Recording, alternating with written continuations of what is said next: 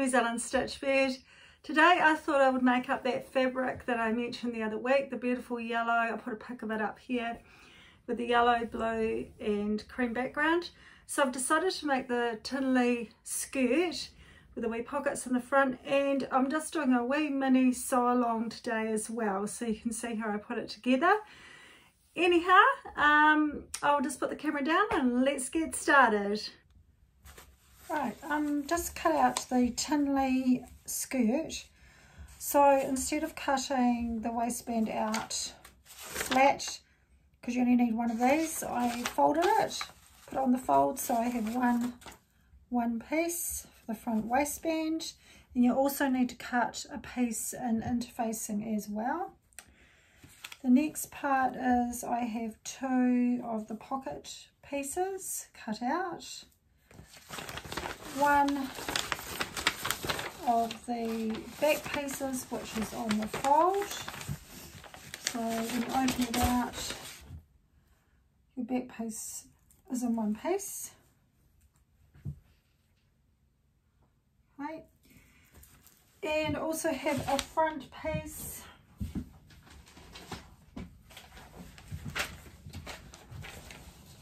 which is here again on the fold. The difference with the front piece is you have the slant for the pocket. So that's the front on the fold. Here we have the, the two pocket bags. So those other two pocket pieces I showed you are to go right sides together on the front which I'll probably do first actually. I'll pin those and get them stitched on. So that's my first step. Right, firstly I interface my edges with two strips and ironed them on. And now I'm going to pin the pocket fronts to the front, right sides together.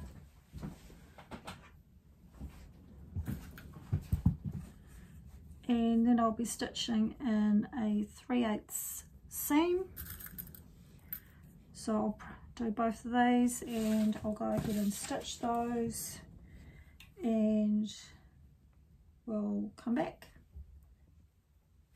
Right I've stitched in my 3 8 of an inch seam and now I'm going to, going to press the pocket flat seam towards the pocket and then I'm going to edge stitch along the edges here just to make sure that the pocket sits nicely on the inside of the skirt. Right, I've edge stitched along the edge, sort of a couple of mils from the edge. I usually use my presser foot and just line it up. Now I'm going to fold that flat and give it a press.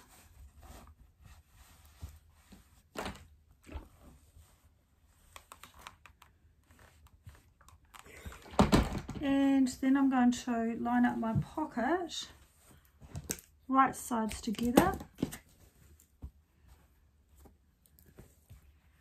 And pin it around the edge and I'm going to stitch around the edge and I'm also going to overlock the edge as well just to finish the edges. So I'm just going to pin that pin that quickly. And I'll do the same on the other side. So when you turn it over you have the, the back of this side of the, of the pocket coming out. So that's finishing off your side seam and then you've got your pocket.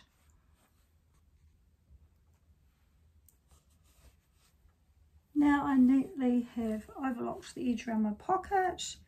I'm going to fold back the pocket so it's nice and neat on the front. Line up my side seams. I'm going to pin those and we're just going to stay stitch along here just to hold all this together. So when we go to stitch the waistband and the side seams it's not going to move on us and it's going to keep it nice and even. So I'll do that now on both sides. So now I've stay stitched my waist and side seams just holding the pockets in nicely. And I think now we move on to the back so we're going to be pinning the side backs and side fronts together and we'll finish those seams now. So make sure I've got this up the right way. So I'm just going to, that's the right way. So I'm just going to pin the side seams together on this edge and stitch and I think I'll overlock as well because it'll just make it a wee bit stronger. So I'm going to do that now, then we'll come back and see what's the next step. Now I've stitched and overlocked both side seams. I'm just going to press this and put this to one side. I'm going to start on the waistband now. Right, to the front piece of the waistband I've applied interfacing and iron that on.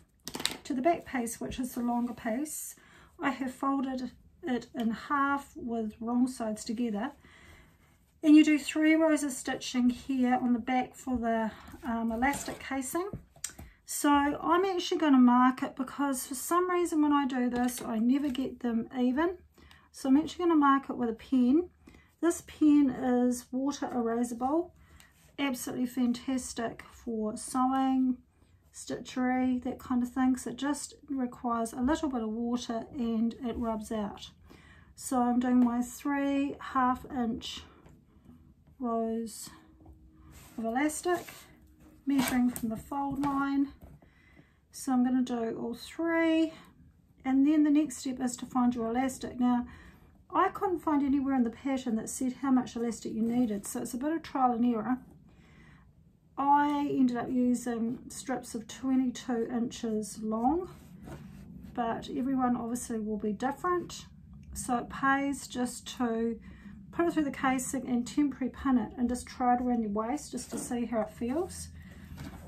And we'll get to that stage and we'll come back.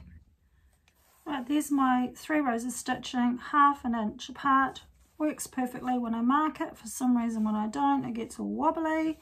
So that's turned out really great. So I will now get my elastic threaded through and just temporary pin one end. And I'll probably stitch the other end just to hold it in place until we're ready to put the pieces together.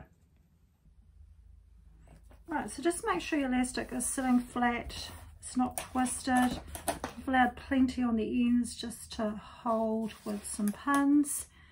I'm just going to undo my um, bobbin. Easiest way to thread elastic. Has a little, little sort of a clasp and you tighten it up with the slide down piece. So now I have got my elastic installed I'm just sort of evening it out, make sure it's all sitting nice and flat. The next step is we're going to encase the sides. So what we're going to do is we're going to fold it over the top of the elastic but I think what I'm going to do is I'm just going to stitch across there first so that this doesn't come undone so I'll do that and I'll okay so I've just stitched over the edges and I've left my pieces long so I think that's looking about the right size I can always come back and unstitch that and let a bit of it go. So I'm not trimming those off just yet till I've tried it on. I've marked the centre on each side of the front waistband. So I know that that needs to line up with the fold of the waistband. And I'm just going to tuck it in like so, so it meets up. And I'm just going to pin it and stitch. And I'll do that on both ends. So I'm going to fold over again, lining up the little mark on the fold, making sure all my edges are even, both on the sides and at the bottoms. So they all line up. And pin it. And we'll stitch that. And then we'll have a go at trying our band on, make sure it's not going to be too tight or too loose and then we're ready to attach it to the top of the skirt. Well, I actually had to um, extend out my elastic, so I'm pleased I didn't cut it off. Stitched it across, folded it back, given it a good press. So now we're up to putting the waistband to the skirt. So I'm actually going to put this side, I'm going to go through and use my water to take all that marking off a bit later. So you, you measure up or you mark up the front seam with the edge of the pocket and we'll pin that and I'm going to go around and pin, pin it all together. There's notches also to line up on the side seam. I'm just going to flip my side seam to the back because I have overlocked it. And I'm just carrying on round to the other side so we know where we're going. So lining it up with the pocket again.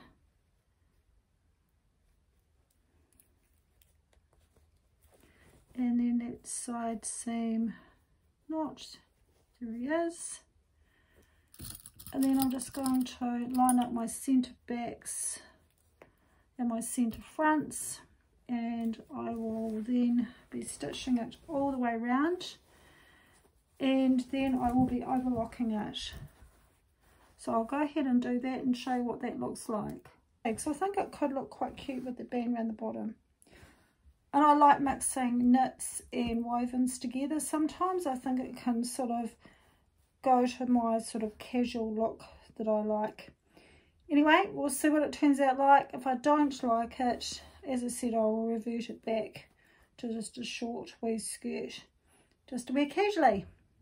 On the bottom, which I thought I was going to do, I just decided just to hem it up with a bit of bias tape and top stitched it on the other side. So just a really simple Anyway, um, just to finishing off that skirt, I decided in the end just to put a little narrow hem along the bottom. I used some bias tape, so I'll put a pic of that up there. And that's all for today. I hope you enjoyed my wee mini sewing along and um, look forward to seeing you next time. Thanks for watching. Bye now.